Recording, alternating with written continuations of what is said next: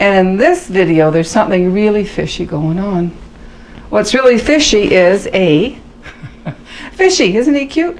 Or she. We're going to make this little fella today. And your fishy will look a little bit different, but that's cool because it's going to be your fishy. To get started, I have a ball of clay in here that's about the size of a small orange. So I'm going to turn it over. We always write on the bumpy side and work on the tidy side.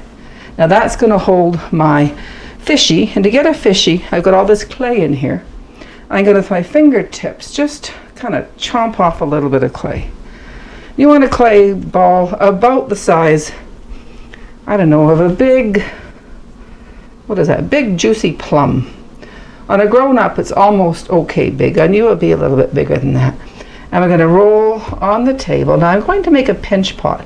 I'm going to make a little bowl with my hands. And the little bowl is going to turn into the fishy's body. So I'm going to roll on the table. When it's tidy, and I like the shape, I'm just going to tap it. Now I'm not going to smack it so it's half, a half flat. Just about, just enough, uh, what's that, 20% of the ball is flat. And I'm going to put, I'm right-handed, so I'm going to put the round part of that ball in the palm of my left hand. I'm going to take my thumb and I'm going to put it right in the middle and I'm going to push down. Now remember what I told you about as thick as your finger. From the end of my thumb to the bottom of that clay is as thick as my finger. And I'm going to pinch and turn and pinch and turn and pinch and turn all the time, keeping my fingerprints the distance of my fingers apart, if that makes sense. Now, when I say pinch, if I were mean, I'd walk up to someone and I would pinch them with my fingertips just like that. I'm not mean. I'm going to pinch with my fingerprints. My fingertips don't come together. They almost my knuckle bones touch my knuckle bones. I hope that makes sense. I'm going to pinch and turn and pinch and turn all the time pinching very gently turning just a little bit and then I'm going to make this little bowl now I've got a few cracks on there and I want it to be tidy so this is a bigger hole so you smooth with a dry finger and then slidey makes it tidy if your bowl happens to be not level on the top, you can just, my fingers are wet, tap it tidy so it's smooth. So there we have a nice smooth top. And now the fishy's looking at you and I'm going to squeeze again. See my finger, fingerprints to fingerprints, a little fishy face. I want to glue. You have to decide which way fishy is. I think I want him with a big smile on the bottom. There's no rule, so I want him to, to stick. Now, in order to make anything stick, to join two pieces of clay together, if I want to join this piece of clay to that piece of clay, I have to wet my finger and wiggle that wet finger, and you're going to make all that shiny glue, the slidey make it tidy stuff, and then the piece of clay I want to join, I'm going to twist into there and it'll stick. So to make it stick is wet and wiggle and twist and stick. Now to twist this fishy, I'm going to stick my thumb right down his throat. And he's not going to look at the ceiling. He's not going to look straight out. He's going to just kind of look off in the corner and twist and stick. And there he is, a big grin on the bottom. So there's his little fishy face. And then we're going to make a little fishy tail. Again with those chompers. I'm going to chomp off a piece of clay this time Ah, maybe on you about okay big. Maybe about that big. A bigger piece of clay will make a bigger tail and a smaller piece of clay will make a smaller tail. And I'm going to roll that piece of clay into a cone shape. Now to make a ball we went around and around and around and it went around. To make a cone we're going to leave our little finger on the table and slide that ball of clay in that angle that is made in my hand just like that. So now I've got that cone shape. I'm going to roll on the table, work on the paper. I'm going to flatten it out into, that's a teardrop or a leaf shape. I want to get rid of that pointy bit so it's not quite so pointy where it joins. I'm going to make that a tail. But it looks, now it looks more like a beaver tail than a fishy tail. So I'm going to make with a standing up slicing toothpick two little tail parts on that. I'm going to open it up and with that same fingerprint to fingerprint, I'm going to coax a couple little fishy fins out of that. Do we want his tail to fall off? Of course we don't want his tail to fall off, so we're going to wet and wiggle and twist and stick that little tail on there. I'm going to tap it. Slidey makes it tidy.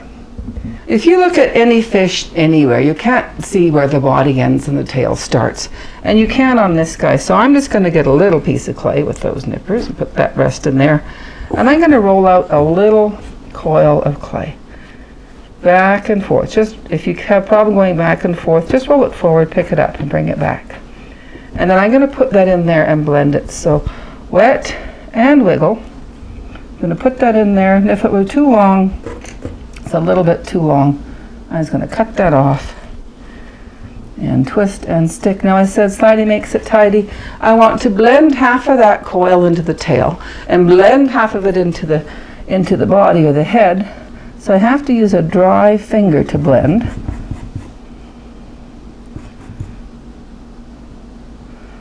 So then it's all blended in. And then now you can do the slidey makes it tidy. You're doing this, don't add a whole bunch of water, just enough to move the clay around. If you keep adding water and adding water, your fish is going to turn into a mud puddle. And we don't want a mud puddle, we want a fishy. Okay, so there, there's his tail on there. Now we're going to give him some fins. We're going to give him one, two, three fins, just like that.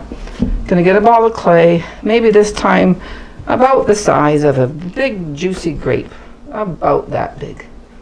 We're going to roll on the table, work on the paper, flatten it out into a nice round little ball. It can be a little bit thinner than your finger, but not a whole lot.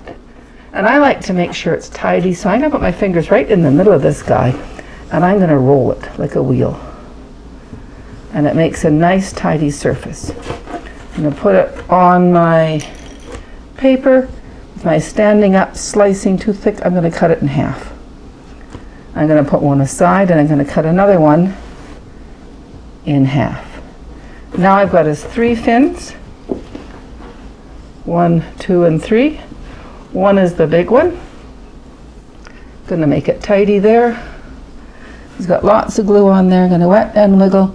You can put your finger in there and support so you don't squish them. And then I'm going to put fins on the side and fins on the side.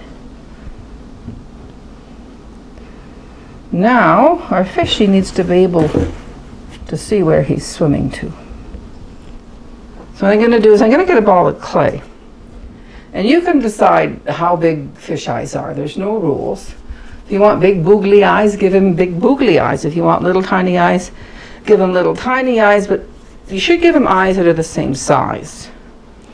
If this poor fishy, when we are done, went out into the pond with these eyes, people might laugh at him. so you want to give them big ones or little ones, but I think it looks nice if they're the same size. I'm going to give my guys medium size eyes. So I'm going to get a ball of clay, just like that, and I want two balls the same size. So I'm just going to cut it in half with my toothpick, and then I've got two clay, then I've got two balls of clay the same size. I can roll them. I like to roll little balls of clay on my hand and big balls of clay on the table. Going to put his eyes on so his eyes don't fall off, wet and wiggle, twist and stick. Now you can just poke him in the eye, like this. Or what I did with this one, I added a second little ball of clay and poked that in the eye. So he does have big boogly fish eyes. Before you put them on, make sure they're the same size. See that one's quite a bit bigger. And wet and wiggle, twist and stick. Now you can poke him in the eye. And now he's got boogly fish eyes. He's almost done, but I want to give him some decorations. So I want to give him some lines on his fins. Before I do that, I realize that let's just take our toothpick and smear that in gently and join that because like the tail you can't tell where the fins join on. And also if you smear those in they're less apt to fall off when they dry. So I'm just going to give him maybe some three decorative fin lines or tail lines and some fin lines. And I'm going to give him Notice I'm just laying, I always do lazy laying down toothpicks. When toothpicks are decorating, they're always laying down. And if you're standing up, they're cutting. We don't want to cut the fishy, we just want to decorate the little fishy. So there he is. I don't know if you want to decorate his little pancake a little bit. At this point, it's up to you if you want to decorate that, or maybe give him a little fishy friend, or I don't know what you give him.